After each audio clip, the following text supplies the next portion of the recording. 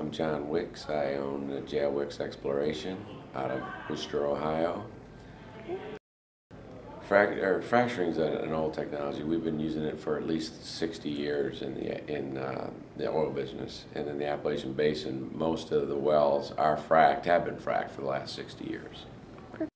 Hydraulic fracturing is is a very safe practice if it's done properly under the right conditions. It, it's and there and there's it, the only chance of harming the the aquifer is if you would have a spill on site, you know, a big truck spill or an accident.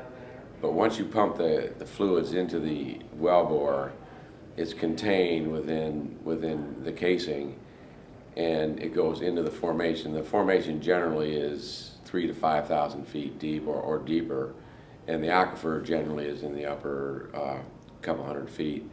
Fracturing, when you fracture a rock at depth, it, it maybe goes out at two, three hundred feet in any, in any direction, and so it, it's, it's, it's virtually impossible for that frac to, to reach the surface.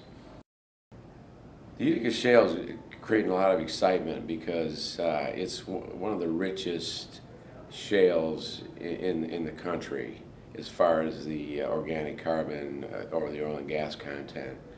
And particularly in, in eastern and southeastern Ohio, it's, it's, it's, it's, it's big. And, and there's been over, I'd say somewhere in the neighborhood of 400 permits and, and a lot of activity and a, and a lot of, of, of highly productive wells.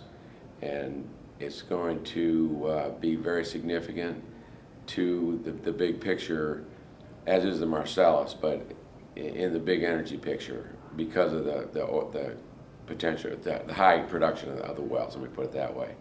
And the reason that, the, that it's so exciting right now is because as gas prices are low, below three dollars per million cubic feet, uh, oil prices are high, and it's a liquid-rich, uh, it's a, it's a liquid-rich rock. So in other words, it produces more oil and, and uh, gas, natural gas liquids uh, than your your typical shale uh, shale rock.